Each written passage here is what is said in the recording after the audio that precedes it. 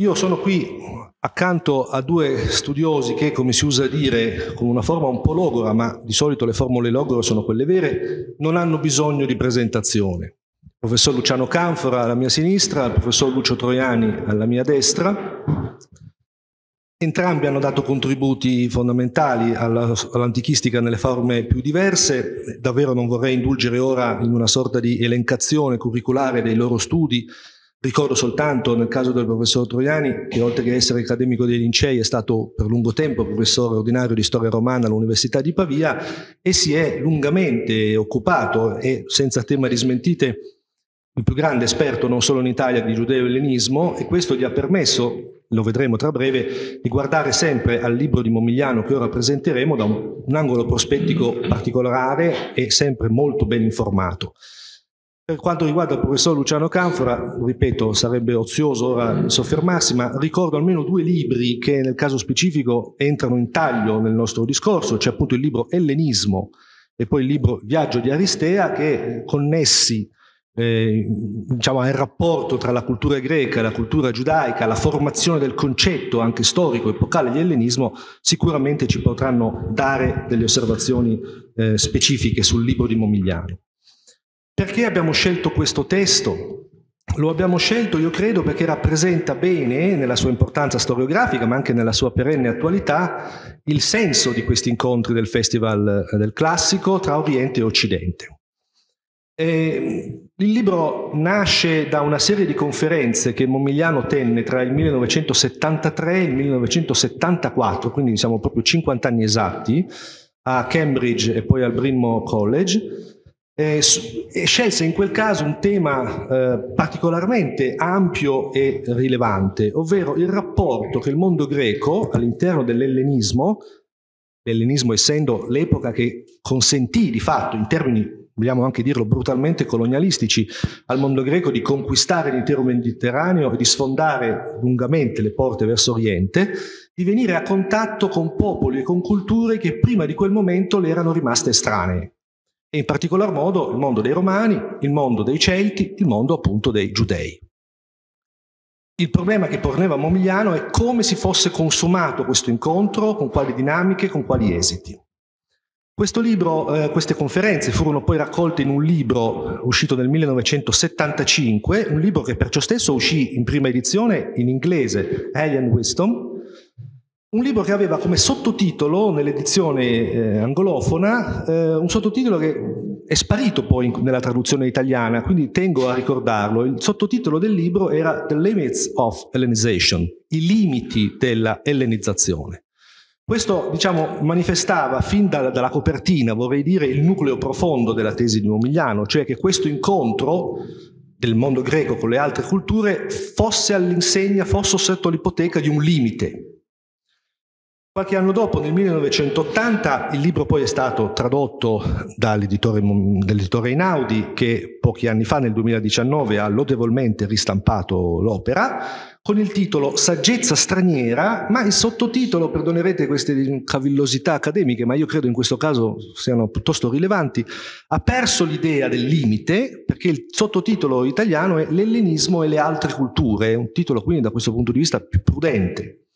In realtà l'edizione italiana si caricava di una appendice che nel, nell'originale inglese non c'era, dunque ciò riscattandosi in un certo senso, un appendice che Pomigliano scrisse qualche tempo dopo, ma in connessione con il tema maggiore, dal titolo, se vogliamo, ancora più parlante, cioè l'errore dei greci che diciamo, manifestava in maniera ancora più visibile quel, quel, concetto iniziale, quell'idea fondamentale che animava questo studio. Allora qual è il limite e qual è l'errore che i greci avrebbero compiuto nel guidare in maniera dall'alto questo processo?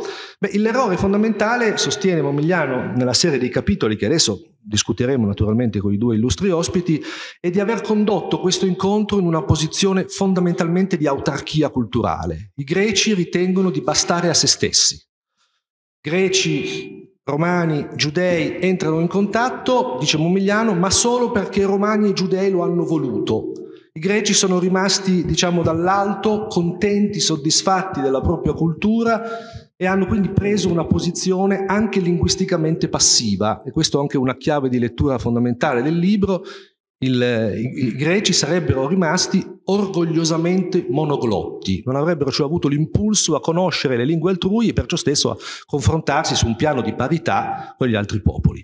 Questa è la tesi fondamentale, questo è il limite, questo è l'errore che Momigliano diciamo, storiograficamente rimproverava i greci, ma storiograficamente guardando sempre anche all'attualità, credo di poter dire, e su questo io credo che possiamo cominciare a impostare il nostro dialogo. Io lascerei innanzitutto la parola al professor Canfora per chiedergli un, una, diciamo, un, posizionamento su questo libro, che cosa ha significato nella, stu- nella, nella, stu- nella, storia dei nostri studi e poi io spero anche nel dialogo con il professor Troiani se possa emergere l'entopede, se questa diagnosi di Momigliano convinca, se sia stata messa sotto discussione negli ultimi anni, che cosa ci sia di vitale al di là dell'idea diagnostica che lui ha proposto in questa rilettura del mondo ellenistico che ci ha offerto.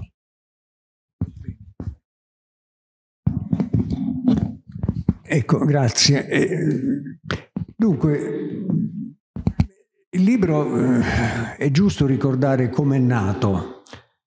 Rientra in una serie di opere tutte di grande efficacia, degli autori più diversi, originate da un ciclo di conferenze. Eh, mi viene in mente Jäger, Demostene, no? un libro secondo me molto importante, anche molto criticato, conferenze che lui tenne eh, negli Stati Uniti, poi eh, tradotto in Germania dal testo inglese, 1938-39.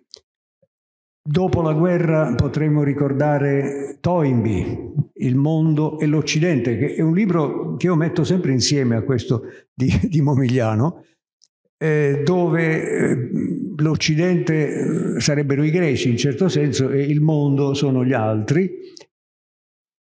E la diagnosi che fa Toynbee è secondo me più eh, profonda perché ha un, un orizzonte più grande, ma anche lì lezioni poi messe insieme.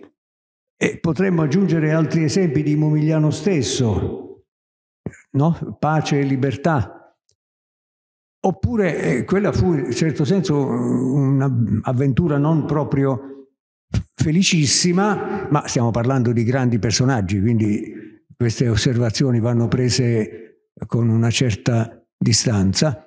Saim alle prese con Sallustio, Salustio in certo senso è il punto di partenza di, del saimismo tacitismo, che è una corrente di pensiero storiografica secondo me piuttosto interessante. Lui fa queste conferenze a Berkeley, se non sbaglio, e le mette insieme in un libro su Sallustio pieno di buchi, pieno di cose che andrebbero ritoccate, aggiunte, eccetera. Il libro di Momigliano pecca del peccato opposto, nel senso che ad ogni pagina eh, ci sono decine e decine di informazioni a raffica lanciate addosso al lettore che se fosse richiesto di farne un riassunto avrebbe una certa difficoltà. Infatti io ho ammirato molto uno dei giovani nostri amici studenti che ha riassunto questo libro ieri mattina e dandone una lettura ultra sintetica, perché o uno dà una cifra complessiva oppure si imbatte in una serie di considerazioni specifiche, di riferimenti specifici che si accavallano uno sull'altro, ognuno dei quali presuppone nell'autore una dottrina sterminata, ma anche una semplificazione a danno eh, del lettore. Faccio un esempio. Eh, nessuno può negare la competenza di Momigliano a proposito dei libri dei Maccabei, in particolare del primo. No? A parte che da giovanissimo aveva scritto già un libro, uno dei pochi libri, un perfido, uso l'aggettivo simpaticamente, ironico, diciamo, nostro grande studioso e collega che sta per compiere cento anni, credo, cioè Antonio Lapenna, ironizzava su Momigliano dicendo è un nomade, nel senso che ha attraversato infinite tematiche con intelligenza luciferina, però poi un libro complessivo, vero e proprio, è nato, sì, Claudio, eh, Filippo il Macedone, Filippo il Macedone prima dell'esilio, fra l'altro, eh, Claudio è già un libro alla maturità, linee dell'interpretazione della storia maccabaica è un altro dei libri veri, diciamo, da lui scritti. Bene, in questa tematica lui eh, si addentra velocemente in questo volume, quando parla del rapporto ebrei-greci, e fa una curiosa critica al primo libro dei Maccabei, in particolare a quel capitolo 8, se non ricordo male, sì. in cui eh, Giuda Maccabeo caldeggia l'alleanza con i Romani con argomenti, dice lui, che denotano una scarsissima conoscenza, perché parla del Senato romano che si riunisce tutti i giorni, eh, poi che c'è un console solo anziché due, però tralascia, eh, stranamente secondo me, eppure il testo lo conosce benissimo, ma lo fa per amor di tesi secondo me, che in quel libro e in quel capitolo in particolare c'è un'analisi del funzionamento della Repubblica Imperiale Romana di grande profondità. Quando Giuda Maccabeo dice ai romani bisogna stare attenti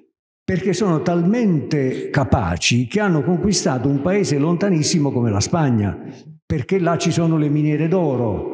E allora questo bravo autore che io annovero tra i maggiori storici, ecco, la comodità di non avere un tavolo davanti sì. è entusiasmante e fa parte, diciamo, dello spettacolo a carattere televisivo al quale tutti guardiamo come al massimo di conoscenza, di possibilità di conoscenza. Va bene, chiudo questa parentesi. Ora, eh, quel capitolo è un capitolo di un grande storico di cui non sappiamo il nome, eh, collocabile intorno al 100 a.C., quindi ne ha viste parecchie dello sviluppo della Repubblica Imperiale Romana. Altro caso in cui preme a lui per amor di tesi arrivare a un certo ritratto, Senofonte. E qui è un mio debole per la mia simpatia per quest'uomo, è straripante, va bene, maltrattato pur avendo mh, fatto un'opera notevolissima in molti campi, compresa l'economia pubblica. Senofonte dice, se non ricordo male, io ho la vecchia edizione in Audi, a pagina 138, ehm, ebbe Senofonte scarso interesse per la società persiana. E questo a me sembra un paradosso, perché a parte che l'anabasi non è una descrizione della società persiana, ma è una descrizione del mondo dominato dal gran re di Persia e dai suoi satrapi, per noi impareggiabile è impareggiabile in sé per sé. Non metto a fare l'elogio di Senofonte, ma dal punto di vista della storia economica, della geografia, della demografia è un trattato imprescindibile. Ma la stessa ciropedia, che viene maltrattata perché non piaceva a Platone, il quale disse tanto Ciro non è mai stato educato da nessuno, quindi la ciropedia possiamo cancellare, va bene. La ciropedia non è un romanzo storico, è uno sguardo sulle origini di quella realtà incombente sul mondo greco, lo dicevano ieri eh, i nostri ospiti oratori che parlavano dell'antica Persia, eh, modello, incubo, eh, punto di riferimento della, eh, del mondo delle città greche. E Senofonte in questo campo ha un ruolo centralissimo.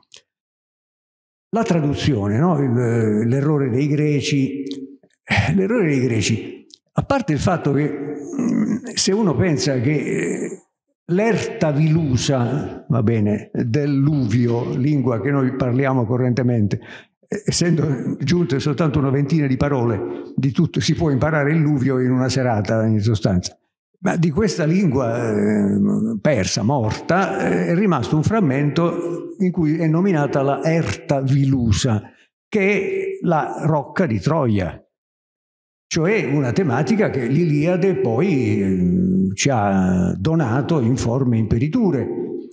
E se vogliamo tutta la teologia esiodea ha alle spalle Marduk, eccetera, allora come si fa a dire che non traducevano?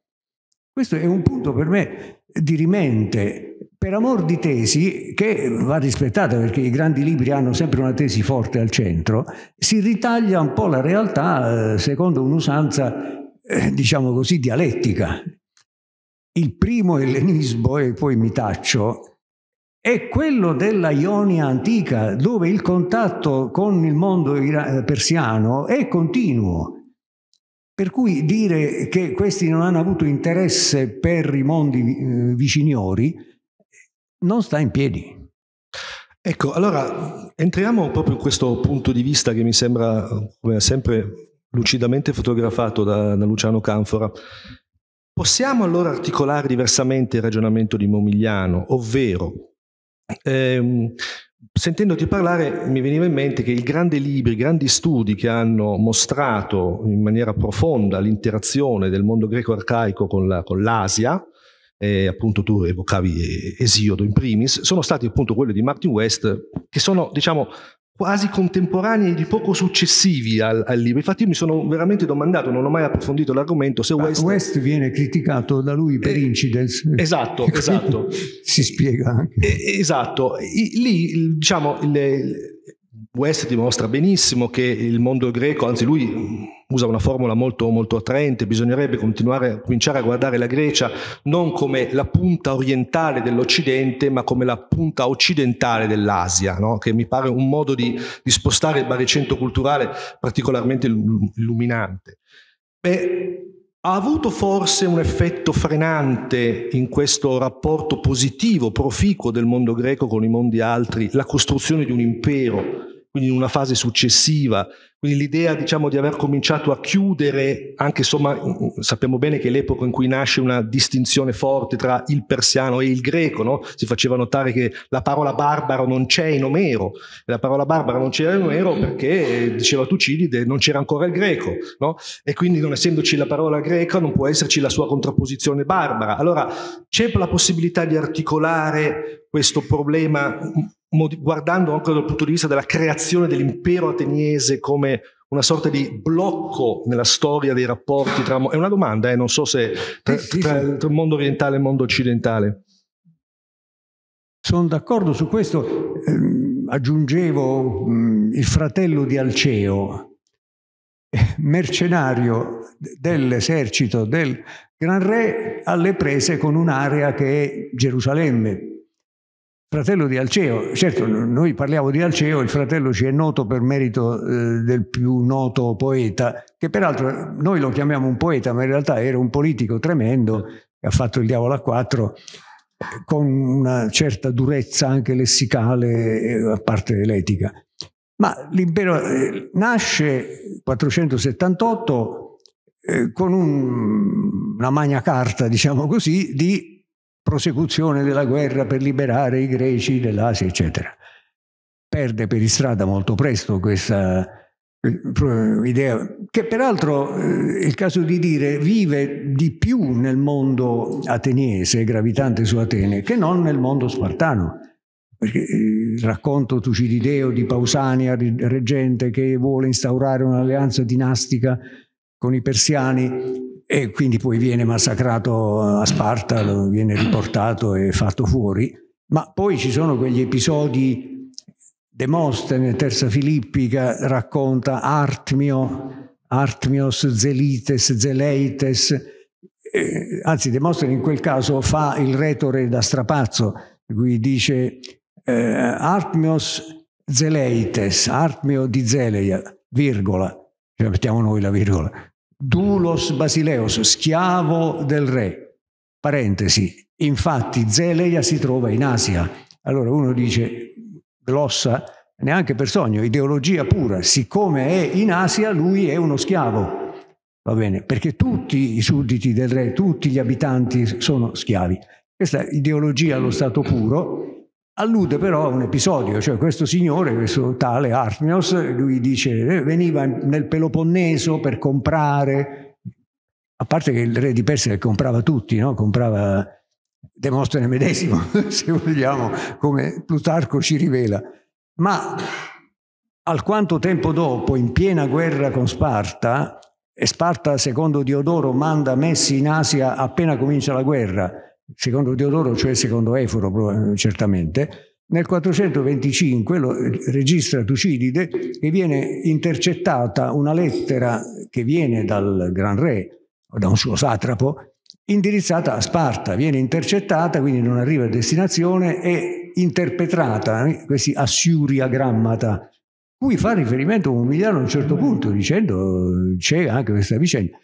Ora, che cos'è in concreto? È un altro segnale dell'interesse profondo spartano ad avere una sponda persiana contro l'impero ateniese. Quindi certamente l'impero ateniese per la sua stessa nascita, struttura e apparente finalità, penalizzata da episodi come la rivolta di Inaro e il disastro di Pericle in Egitto, ha tenuto in piedi questa retorica della contrapposizione liberi schiavi, greci barbari, noi loro, eccetera. E quello è il momento in cui si consolida e Erodoto se ne fa portavoce nel settimo libro. Ecco, allora io approfitto proprio di questo rimpallo per passare subito la parola al professor Toriani, evocando, se vuole, se vuole seguire questa, questa suggestione, eh, il nome anche di, di, un, di, uno studioso a lei molto caro, Elias Bickerman. Ecco, allora come, come, facciamo interagire il pensiero di Bickerman e il pensiero di Momigliano dall'angolo prospettico della storia del giudaismo di cui lei è così sovranamente esperto? No, beh, ehm, sono due personaggi molto diversi nel senso che ehm, eh, Bickerman, eh, che io ho conosciuto, ho conosciuto varie, in varie occasioni, che è morto nel 1981, 31 agosto, aveva una visione dell'ebraismo in età greca, c'è il suo libro eh, L'ebraismo in età greca, che io poi ho tradotto per il mulino, aveva una visione dell'ebraismo in età greca eh, diciamo così, molto più semplice e quotidiana. Ecco. Eh, non a caso Bickerman era un grande ammiratore di, un pers- uno studioso che forse voi tutti conoscete, se non conoscete non succede niente, e cioè Louis Robert, il quale aveva dedicato per oltre 40 anni nella Revue des études grecques una sezione dedicata all'epigrafia greco-giudaica.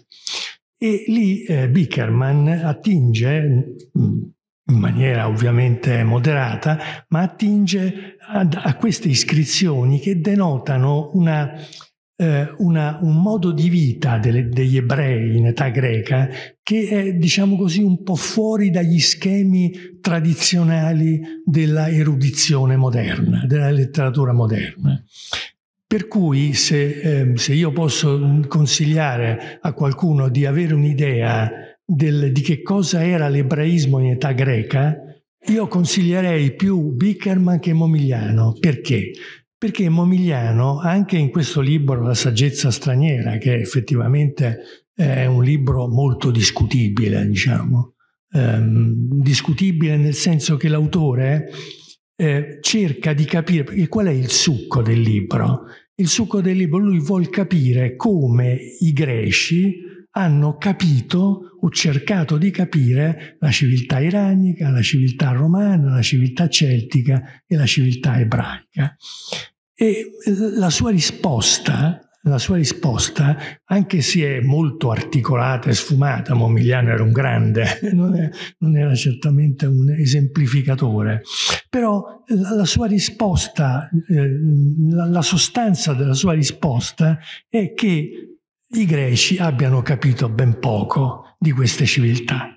Eh, ma questo però, questo libro, quindi ha anche questo altro grande merito, cioè che apre al classicista che è abituato a pensare all'antichità a partire dall'età ellenistica, ma anche prima, come un'antichità eh, fatta dai greci e dai romani.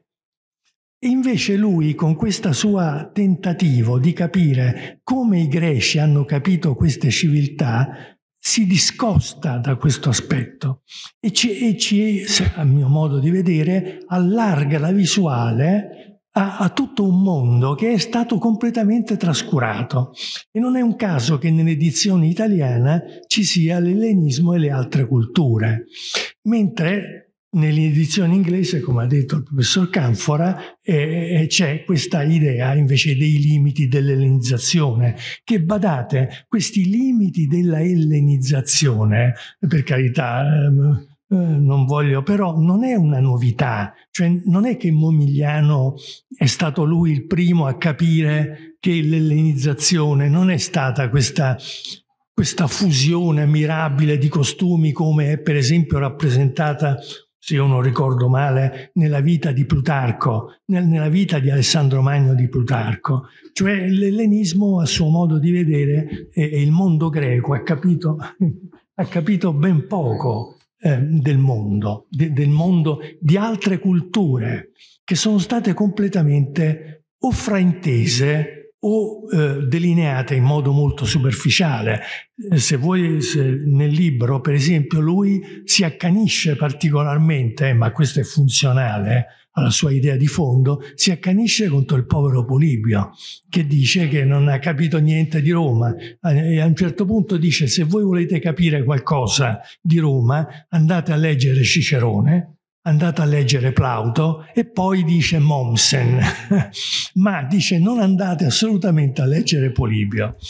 E questo mi dà anche occasione eh, di parlare appunto di quello che tu dicevi, cioè del primo libro dei Maccabei e del celeberrimo capitolo ottavo, che è ovviamente uno dei punti più complicati della nostra Ecco, una cosa che Momigliano, a mio modo di vedere, ricorda poco o addirittura non ricorda mai, però questo io non, non, mi sento di sostenerlo in modo sistematico perché non ho letto tutta l'opera di Momigliano. E, e qual è? È che il primo libro di Maccabei, eh, un, un grecista che lo legge capisce quasi niente. Cioè il primo libro di Maccabei mm, è un, un fatto tanto noto quanto poco considerato, è una traduzione, è una traduzione dall'aramaico. E, qualcosa, e questa traduzione dall'aramaico, che si vede benissimo nel testo, eh, purtroppo, questo adesso io non voglio fare il solito anziano che se la prende con, le, con gli studi moderni, però purtroppo eh, chi affronta il primo libro dei Maccabei eh, delle volte non ha una gran conoscenza o familiarità con le lingue semitiche e in particolare con l'ebraico. Ma perché parlo del primo libro dei Maccabei? Perché il primo libro dei Maccabei appartiene a un genere di letteratura che è assolutamente non greca. Cioè, ehm, uso una brutta parola, ma anellenica.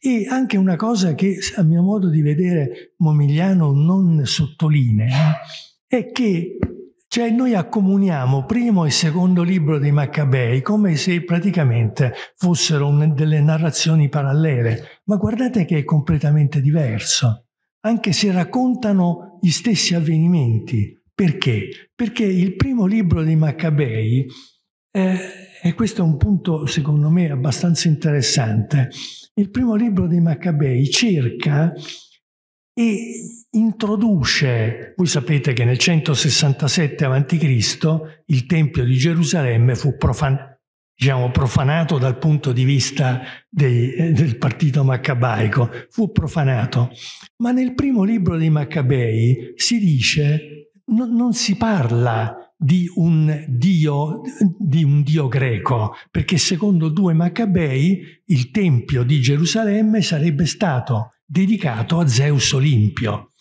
Ma questo lo dice il secondo libro di Maccabei, che è un ebreo della diaspora, cioè, cioè il sunto di un ebreo della diaspora, cioè Giasone, il quale evidentemente viveva nella città greca e quindi pensava che la riforma di Gerusalemme fosse una riforma ellenistica.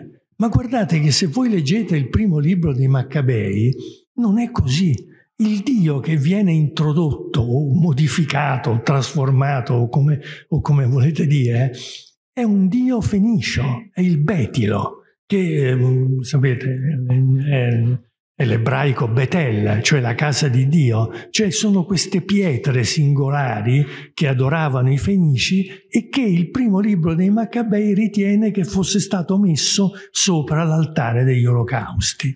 Cioè voglio dire che qui, qui siamo davanti a un tipo di letteratura non greca, anellenica, che per motivi, io finora non ho trovato spiegazioni, fu tradotta, ma fu tradotta quasi alla lettera eh, in greco. Però ecco, ci sono due cose completamente diverse che vanno, su cui bisogna considerare.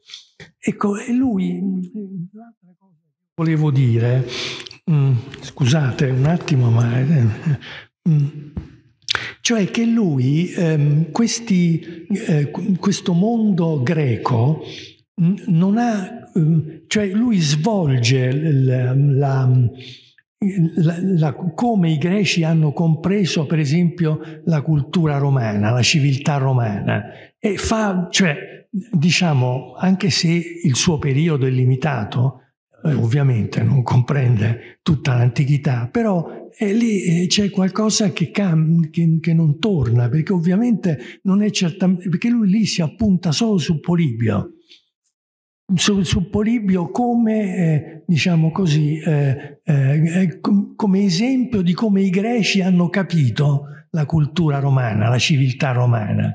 E naturalmente poi questa sua idea è stata contestatissima e, e diciamo così, ehm, confutata, ecco, in modo anche notevole.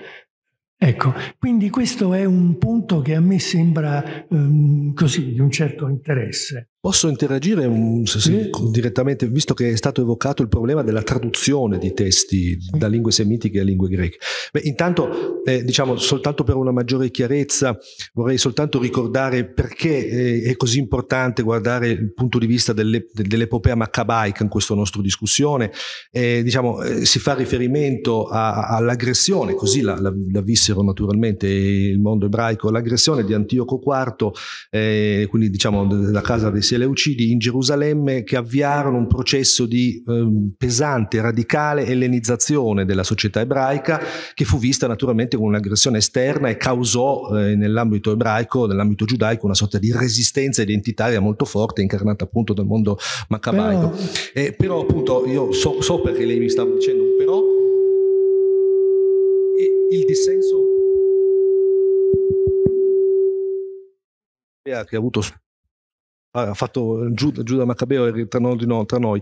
No, eh, il libro di Bickerman nel caso di questa, di questa, di questa secondo me vede giusto vede giusto e Momigliano non lo discute mai naturalmente sì, questo, è, una, questo sì. è un aspetto molto importante ma a parte questa cosa io le volevo chiedere colpisce nel libro di Momigliano in questa riflessione sui, sul, sul, rapporto tra il mondo greco e il mondo giudaico eh, l'assenza o la marginalizzazione all'interno della sua tesi del problema della traduzione dei 70 cioè della traduzione dal, dal, testo ebraico alla traduzione greca. Ecco lì il problema fondamentale è questa traduzione dobbiamo guardarla come un diciamo, un prodotto unicamente giudaico e quindi estraneo all'interesse culturale dei greci, tra parentesi diciamo tesimo miliano, oppure dobbiamo immaginare che in questa operazione straordinaria, Bickerman la definiva nel libro che lei ha evocato, la traduzione più importante mai realizzata nella storia, sì, certo. a, a, dobbiamo in, in, riconoscere anche un'interazione, quindi attiva, tesi contro Momigliano del mondo greco, Onestamente sarei davvero curioso di conoscere il suo parere perché è un tema eh, di grandissimo impatto. Sì, eh, naturalmente non c'è una soluzione univoca come voi capite bene.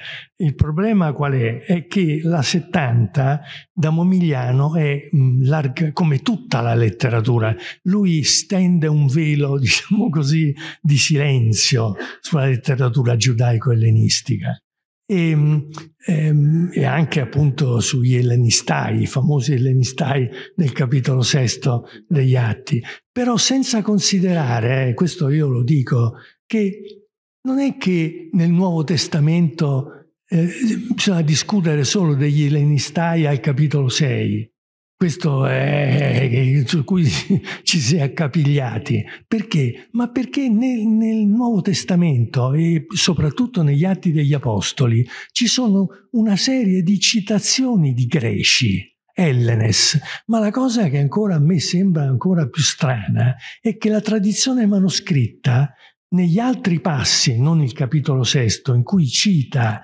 eh, eh, questi greci, è incerta, se, è incerta sulla lezione Ellenes o Ellenistai. Cioè, questo che cosa suggerisce, a mio modo di vedere? Che evidentemente nelle comunità ebraiche, soprattutto della diaspora, esistevano, eh, diciamo, dei gruppi che, che era, si erano ellenizzati ed, ed erano chiamati, eh, diciamo così, dis, erano considerati qualche volta in modo spregiativo dagli ebrei osservanti, praticanti. Io qui eh, l'ho detto centomila volte, ma eh, nel, nel, Vangelo di Giovanni 7:35, quando Gesù dice io, ehm, voi, voi non sapete dove andrò io, cioè un poco mi vedrete e un poco non mi vedrete.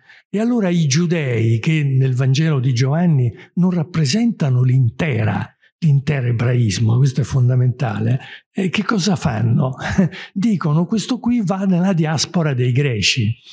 Ecco, eh, se voi leggete il passo nei, nelle, nella traduzione, eh, diciamo, canonica, eh, si dice che questo di eisten diasporan tonellenon vuol dire nella diaspora che sta in mezzo ai greci. Ma questa è una traduzione, a mio modo di vedere, per quel poco che so di greco, mi sembra una traduzione assolutamente insensata, perché il, eh, questo è un genitivo, come tutti eh, nella letteratura giudaico-ellenistica c'è la diaspora di Israele, non è che dice la diaspora che sta in mezzo a Israele, è un genitivo e questo allude probabilmente al fatto che Giovanni ha notato come il giudaismo più osservante, diciamo così, guarda con un certo, eh, diciamo così, disprezzo o insomma eh, questo mondo di, eh, di, comunità che vivono, diciamo così, alla greca e che vengono chiamati così.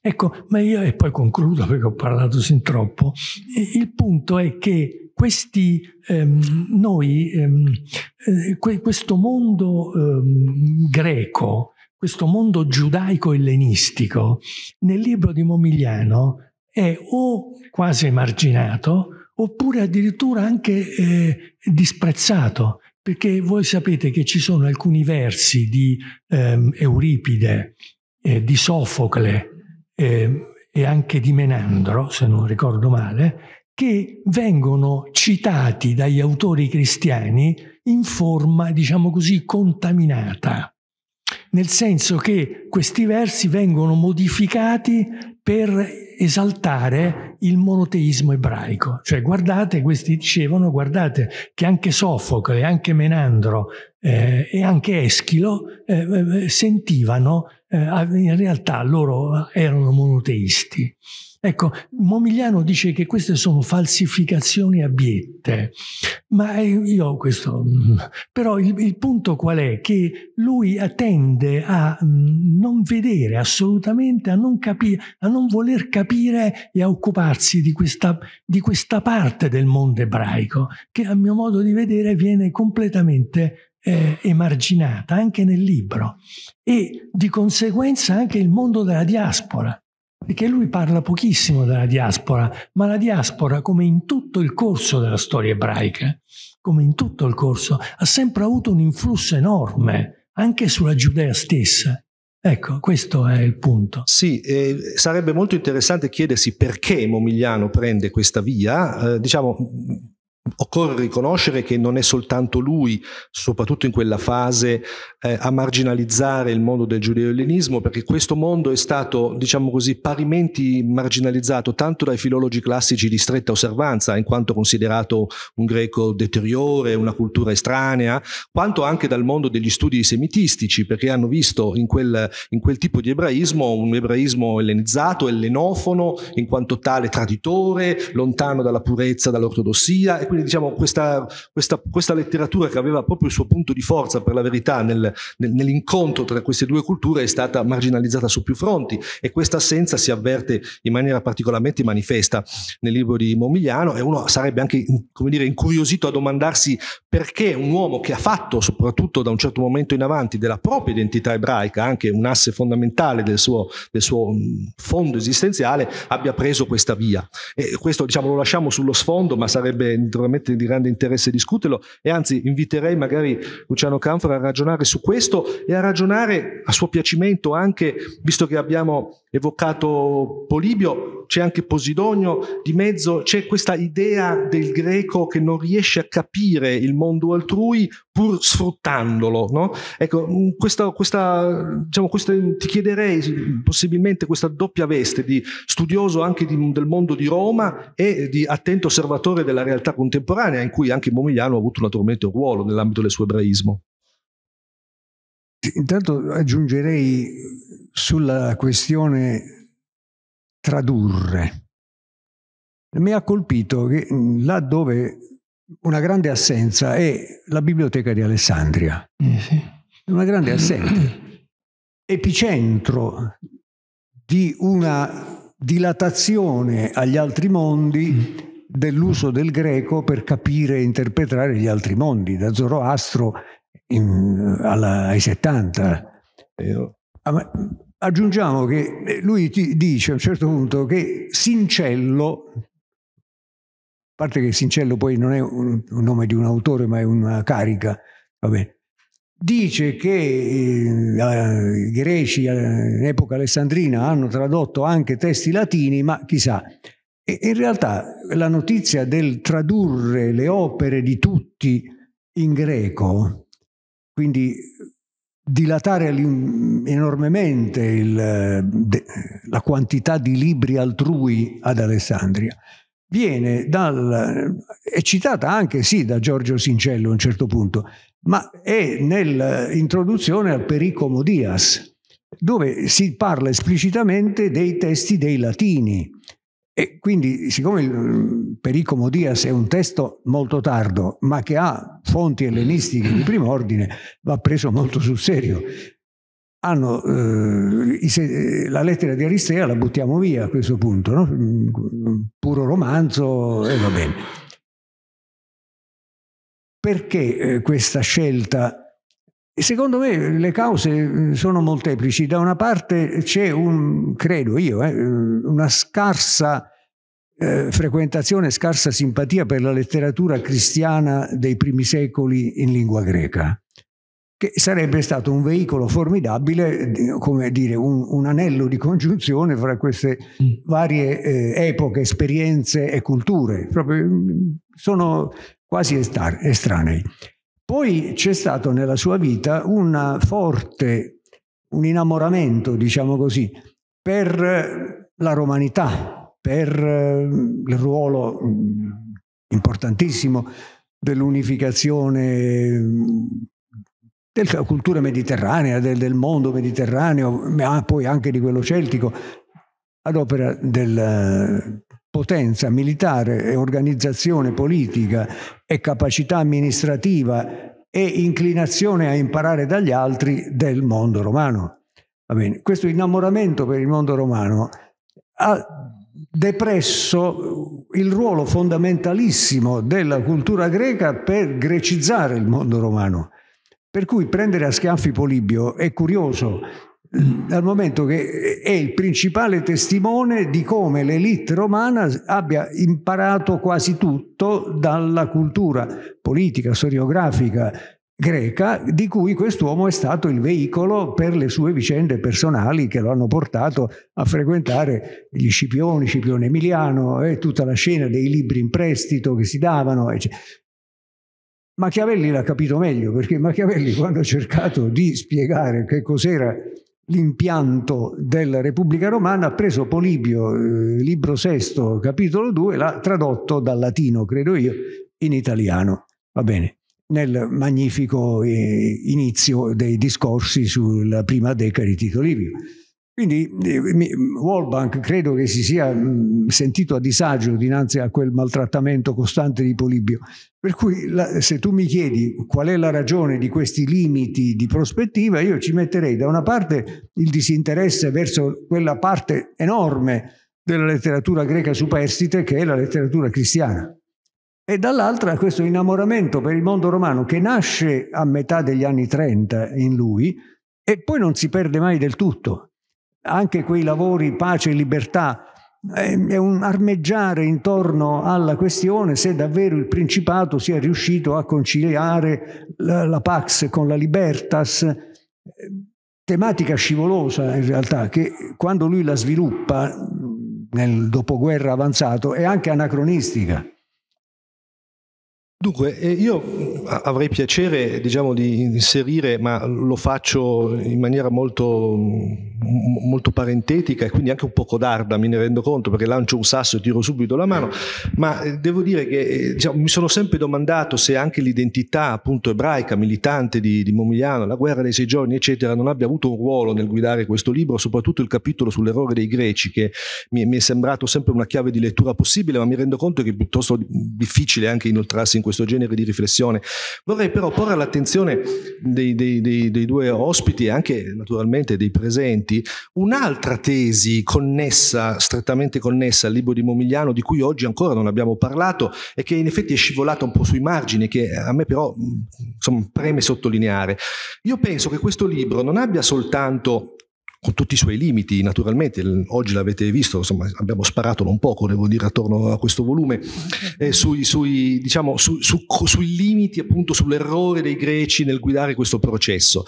C'è anche un altro risvolto della sua tesi, ovvero che dopo aver guidato questo processo, cioè dopo aver favorito in una posizione di supremazia e anche se volete di orgogliosa autarchia l'incontro con i romani, l'incontro con i celti, l'incontro con i giudei, eccetera, L'esito fondamentale è stato che poi questo collegium trilingue, no? lui usa questa, questa formula da, dal famoso collegium lovaniense, cioè il collegium, l'idea che l'Occidente, come noi oggi eh, lo chiamiamo, si sia fondamentalmente costruita attorno a un'identità greca, un'identità romana, un'identità giudaica, quindi intorno anche linguisticamente al greco, al latino e all'ebraico, con tutto ciò che ha significato questo poi anche dal punto di vista della storia testamentaria, no? delle, delle tre lingue sacre, eccetera.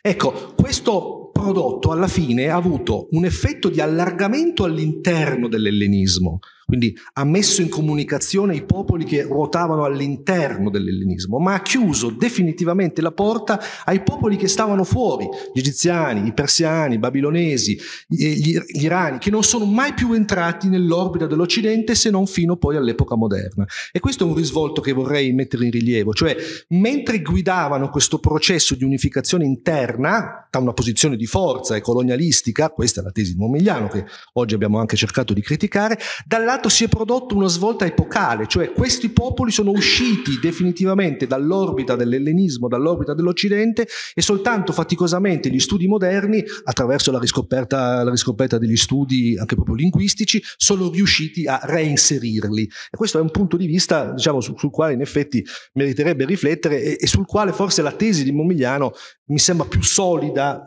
rispetto alla, alle fragilità delle, e, e all'arroganza del mondo greco. Un commento magari su questo aspetto dei miei due ospiti e poi soprattutto anche uno spazio non ampio, mi rendo conto che i tempi sono, sono stretti, ma se anche il pubblico vuole intervenire con qualche curiosità è naturalmente ben accetto. Sì, brevissimamente. Eh, un libro che mm, certamente Momigliano conosceva, ma non, non, lo evoca perché, sebbene citi tantissimo, ehm, rinuncia alle note a piedi pagina, ma tutto appare tra parentesi, quindi è una lettura molto... è il, la Geschichte der Philologie di, di Wilamowitz, che nelle pagine finali eh, lascia in un certo senso il tema di tracciare la storia del, del lavoro filologico nel corso dei secoli, anzi dei millenni, e descrive magistralmente quella unica civiltà bilingue che è creata nei secoli più eh, conosciuti e più produttivi del predominio romano, dal, diciamo tra la seconda parte del primo avanti fino a tutto il primo dopo, va bene. E quelle pagine sono magnificamente scritte per illustrare che cosa è stato il frutto dell'ellenismo e della mescolanza e della conquista dell'intellettualità romana da parte dei pensatori, retori, storici greci, compreso un gigante come Posidonio che tu giustamente hai citato, ma io l'ho lasciato perdere per strada. Quindi questo mh, certamente eh, andrebbe ricordato, eh, il fatto che quella, quelle pagine, insomma, vilamoviziane eh, vanno avanti, vanno oltre rispetto a, a questo libro qua. Eh, tu però poi chiedevi... No, chiedevo se, se, questa idea di aver chiuso no, ecco, no, dicevo l'altra considerazione molto breve alla quale approdavo per lasciare subito la parola. È verissimo che eh, la chiusura coincide grosso modo con la Pax Augusta, no? che intanto funziona, e funziona per un bel po' di tempo, per la scelta augustea dopo il fallimento di Crasso, eh, le penose campagne di Antonio verso i parti, le effimere vittorie 38-36 a.C. di Ventidio Basso, di raggiungere un compromesso con i parti durevole separazione di due imperi, due imperi che si rispettano, si fa riavere le insegne di Crasso che, della battaglia di Carre e cerca di tranquillizzare quel fronte, anche perché ha dei problemi non piccoli a casa sua, fino all'anno 13 alle prese con le Alpi dove deve completare la conquista della Gallia mai completata del tutto, poi torna e fa la Rapacis, va bene. Quindi quella chiusura autosufficiente eh, che chiamiamo Pax Augusta è una spartizione di aree di influenza rispetto all'impero partico che però non è mai un problema chiuso perché poi può ritornare nel tempo, come sappiamo. Questa è certamente una soluzione diplomatica all'altezza dell'ingegno politico di Augusto, ma al tempo stesso una resa dinanzi all'aspirazione universalistica di partenza. Professor Troiani, a lei un'ultima riflessione su questo tema. ecco, io avrei, cioè dal libro La saggezza straniera, ehm, ovviamente, mi sembra di ricavare che il, il motivo fondante di questo libro è, è, una, è una, dimostrazione, a prescindere eh, da come i greci interpretarono, questo l'ho già detto, quindi non voglio ripetermi, ma il motivo fondante, secondo me, di questo libro è che in realtà, secondo lui, la, la, la parte vera dell'ebraismo, quella che lui considera, è in realtà sempre rimasta estranea al, al mondo greco. Ecco, questo è il punto e questo lo dice più volte anche in, te, in termini articolati, non certamente, eh, diciamo così, ap- apodittici, per carità, però la sua idea di fondo è che il mondo ebraico, quello vero, diciamo, è sempre rimasto estraneo alla civiltà greca, anche perché anche dice la 70 è stata tradotta dalle comunità, perché non, non, gli piace che sia stata tradotta da Tolomeo II su ordine di Tolomeo II Filadelfo. Cioè, e, e, e, da questa sua idea, che, che evidentemente avrà maturato part- non so quando, eh, nasce proprio questo libro. Cioè lui ha esteso questa presunta ignoranza, ignoranza superficialità greca anche ad altre civiltà per trovarvi conferma. E questo mi sembra un punto abbastanza centrale del libro, sicuramente discutibile perché, poi concludo, perché in realtà la, eh, l'ebraismo di lingua greca è, è, è, è la, l'antenato del, della letteratura cristiana. Su questo non c'è dubbio. Se voi leggete Clemente Alessandrino, che però è abbastanza complicato, o la preparazia evangelica di Eusebio o la demostrazia evangelica di Eusebio, che eh, secondo me è troppo studiata dai cristianisti, mentre dovrebbe essere anche studiata da altri. E lì si capisce benissimo Eusebio. Ehm, cita tutta una serie di autori, diciamo così, anellenici, cioè che non appartengono alla tradizione classica greca, ma che lui vede come dei, diciamo, dei progenitori del, del, del, dell'ebraismo, del cristianesimo, scusate. E poi c'è questa sua famosa frase nella Demostrazia Evangelica, nel Proemio, che io considero a tutti di leggere, consiglio a tutti di leggere, dove lui dice guardate che il cristianesimo non è né giudaismo né ellenismo. Certo voi direte, ma Eusebio vive in un'altra epoca certamente, però c'è questo tentativo da parte dei cristiani di recuperare un certo tipo di ebraismo eh, che aveva, diciamo così, eh, che, che, si era soprattutto introdotto e si era sviluppato nel, nella civiltà greca, nel mondo greco. E questo spiega perché il nostro Arnaldo Momigliano ha così poco ehm, eh, amore per questo tipo di letteratura. Ecco, questa è un'osservazione sulla quale davvero credo possiamo avviarci a concludere di grande rilievo, cioè eh, forse capite anche perché abbiamo cercato di dare uno spazio cospicuo nella discussione di questo libro all'aspetto ebraico. E, l'idea che appunto Troiani ci ha presentato, cioè Momigliano medita una riflessione del rapporto tra, greco e, tra mondo greco e mondo giudaico e poi la spalma anche con forzature mm. abbastanza pronunciate sul resto delle civiltà, dà la chiave naturalmente anche dei limiti mm. del libro. Abbiamo cominciato a parlare dei limiti dell'elenizzazione, possiamo concludere con i limiti del libro, ma questo non toglie nulla al suo interesse, anzi io credo che anche per i giovani che ci ascoltano possa essere un, un, diciamo, un'idea particolarmente proficua, cioè i grandi libri, e questo Momigliano lo ha sempre riconosciuto, di solito insegnano molto proprio la laddove sbagliano. Sì.